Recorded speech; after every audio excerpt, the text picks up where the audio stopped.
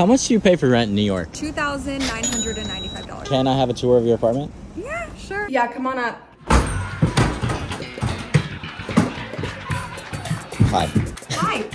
The real estate world is a kitchenette. It's just enough. This is Crazy Girl. She belongs to my friend Paul. That's the bathroom. How hot do. does this get? Really hot. This heats the Yeah. apartments, Yeah, and it's like a would you not? super hot pole. And if you touch it, you literally scold yourself. Yeah. I love exposed brick because it's like a whole area that I don't really feel the need to decorate. Are these all the Seinfeld on Yeah. VHS? And your bed fits perfectly in this little nook. Isn't that nice? This is a So- giant rat.